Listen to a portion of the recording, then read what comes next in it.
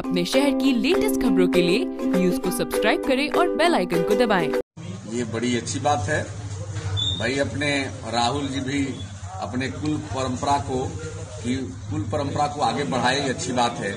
उनकी माता जी भी इटली में इटली में इसी पेशे से थी और आज फिर सपना को भी उन्होंने अपना बना लिया। मैं तो धन्यवाद दूँगा राहुल जी को कि जैसे आपके पिताजी ने सोनिया जी को अपना बना लिया आप भी आज भारत की राजनीति में सपना को अपना बना करके राजनीतिक नई पारी की शुरुआत करें।